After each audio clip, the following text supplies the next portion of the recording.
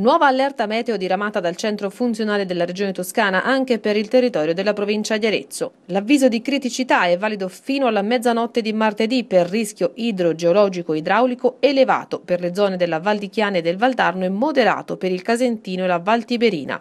Il centro situazioni del Servizio Protezione Civile della provincia di Arezzo in sinergia con il sistema provinciale integrato, i comuni e i centri intercomunali è allertato e pronto con il personale e i mezzi per il monitoraggio dell'evento. Si segnalano già alcune criticità sulla viabilità provinciale, con strade chiuse a causa delle frane dovute alle piogge che ormai da giorni insistono sul territorio.